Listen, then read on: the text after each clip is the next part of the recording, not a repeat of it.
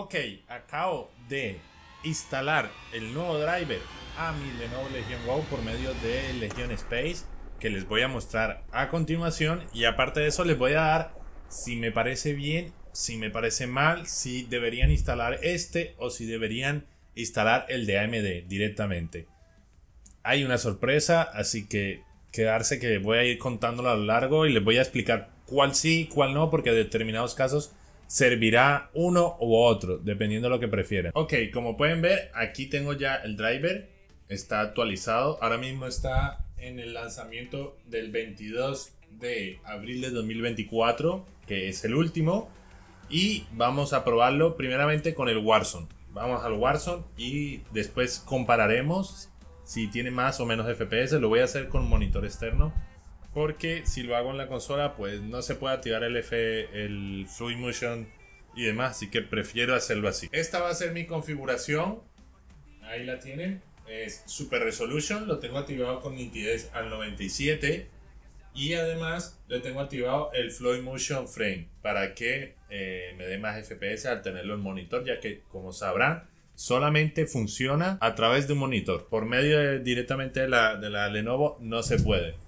Así que ojo con eso. Vamos a darle a ver qué pasa. Vamos a probarlo con el S de falla. Ya que el Warzone estaba actualizándose y tarda una eternidad en actualizarse. Así que mientras se actualiza vamos a probar el S de falla y vamos a ver cuántos FPS estamos obteniendo. En torno a 40 FPS estaba teniendo la consola sin el Fluid Motion. Así que vamos a ver qué pasa con activándose en un monitor externo. Esto en el anterior driver. Ahora que ya tenemos el Fluid Motion vamos a ver qué nos deparará antes de nada, aclarar de que es la misma configuración, Super Resolution, el Flow Motion activado y todo demás. Ahora voy a proceder a utilizar los mandos y probaré uno de los dos accesorios que me he comprado que pronto habrá video de esto, así que atentos de que es un accesorio muy muy muy bueno. Pero por ahora vamos a lo que vamos. Algo así quedaría. Y con este mando es que vamos a jugar. Así que vamos a probarlo. Ok, lo tenemos en 3024 por 1296 para poder que se active lo del Super Resolution. Pero además que se active también el Flow Motion. Así que con eso tenemos las dos ventajas activadas a la misma vez y veremos con cuántos FPS lo sacamos. De momento tenemos unos 67 grados jugando así en modo rendimiento. Y aparte de eso, también estamos teniendo unos 60, de, de 58 mínimo a unos 70 y pico FPS, pongámosle.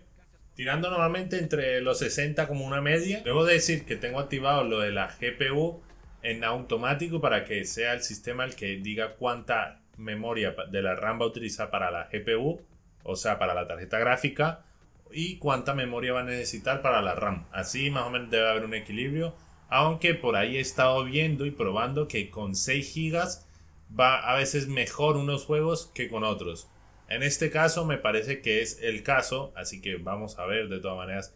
Si les interesa, lo estaré dejando para los miembros del canal este video de comparativo de si es mejor esta opción o la otra. Así les estaré dando contenido para los que son miembros. Y los que no, pues intentaré ayudarle en lo que pueda por Telegram. Únete. Ok, qué locura. 78 FPS y solamente 67 grados. ¿Están viendo? ¡Qué locura! Y se ve totalmente fluido, se ve totalmente bien con buenos gráficos. Aquí lo pueden ver. Y solamente estoy consumiendo 20 vatios. Solamente estoy consumiendo 20 vatios. ¡Qué locura! ¿Y ahora qué? Steam de MSI y demás consolas. ¡Pum! Ay, no, mentira. El rey llama. Cuidar al rey llama.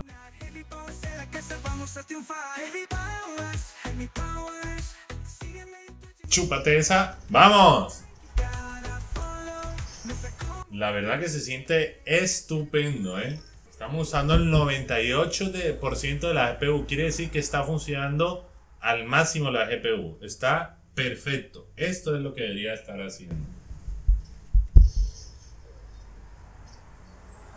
Aunque sí, aclarar de que está usando todo para la RAM. No está usando la memoria de la RAM, no nada para la GPU. ¡Ah! Se mantiene la temperatura en 67 grados. O sea, es un total éxito. De momento, de momento podríamos decir de que estaría probado el driver. Pero déjame que te cuente un par de cosas más para que al final decidas si sí o si no. ¿Cómo es ahora? Es el caso que pasa ahora, que de la nada, de la nada, te pega unos bajones y se queda a 30 FPS eh, estables. Y de repente otra vez volvemos a subir a los 70, pero no sé exactamente qué es, si es que es a la hora de tocar el ratón, si es que se descontrola algo, lo que sea, pero hay un momento en el que no importa la zona del juego, que te va a bajar ahí. Y luego de repente tienes una fluidez increíble. Así que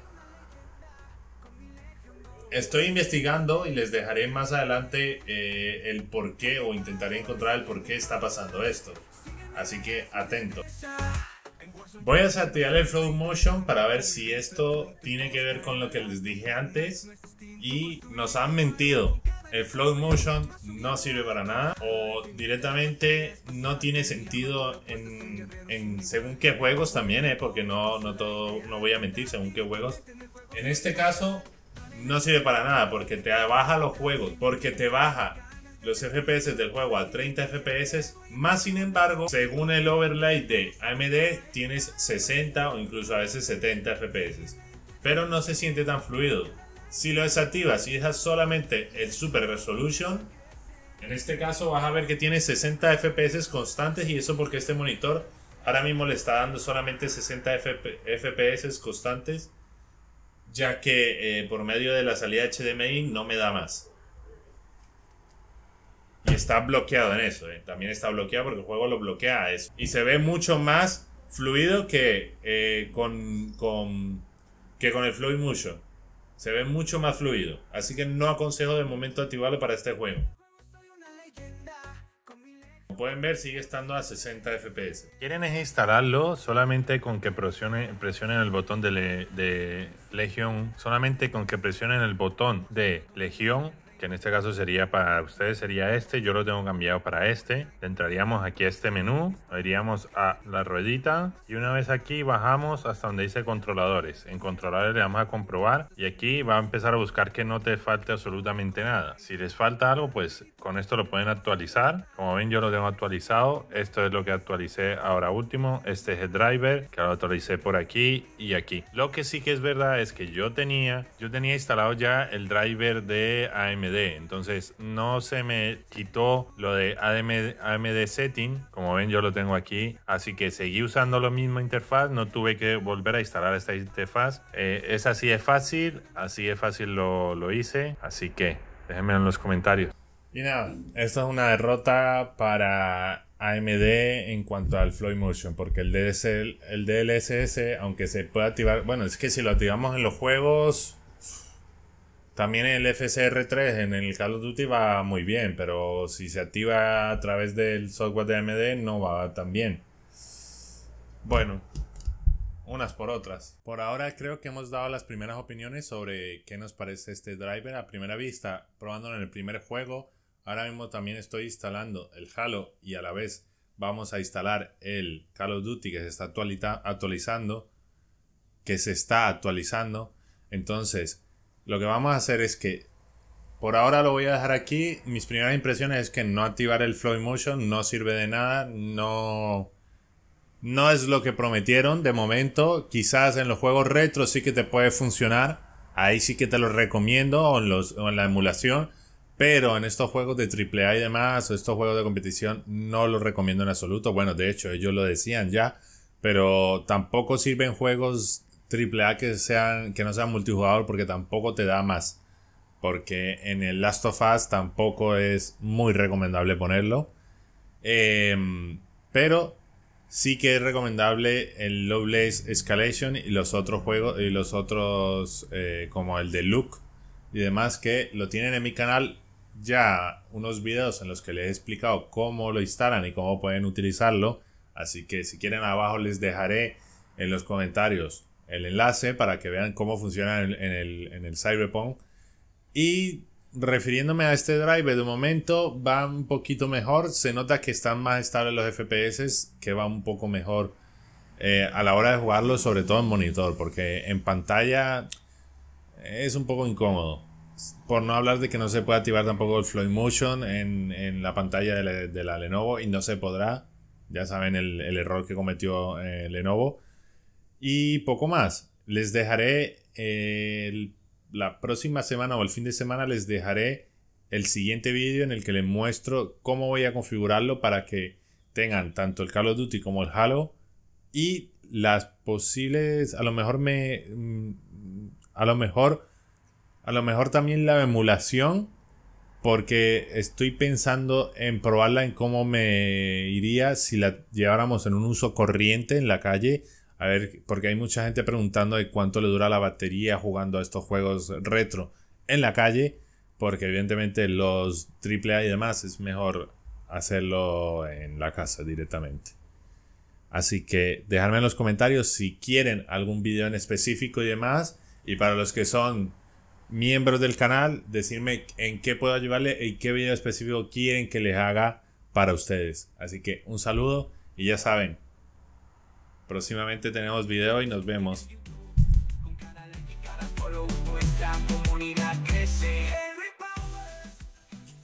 Y ya saben, por el grupo de Telegram estaré compartiendo memes, información interesante y muchas otras cosas de las cuales los propios compañeros que estamos ahí compartimos o ayudamos por si tienen algún problema y aparte de eso el enlace para, eh, todo, para tener todos los simuladores ya configurados está ahí en mi Telegram, está en la parte de general en fijados, así que ya saben, vayan ahí a verlo y suscríbanse yo seguiré para ustedes probando y, viendo cómo podemos sacarle el máximo a esta consola y a la Steam.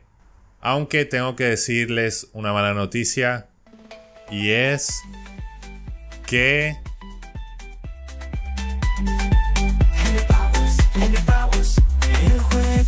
una leyenda. Con mi Legion Go yo siempre venceré